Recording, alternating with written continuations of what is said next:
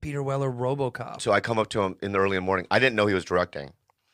I thought he was guest starring. So I see him in the morning and I go, "Oh my god, Yeah. I'm a big fan of yours." Um, so then that happened, and then I flew my mom to um, Maui. And Stevie, right? My brother Steve, yeah, came down. It, it, I made her cry. My mom cried in the my bedroom fifty times. Uh, we need somebody. How about Ogoro?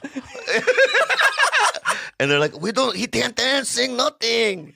You know what I mean? But he'll just be in the background. They didn't tell me. Oh, look, look. But Yeah, it- he might be blind. yeah, They're all looking at the camera. Well, let me. Can I tell you the story first?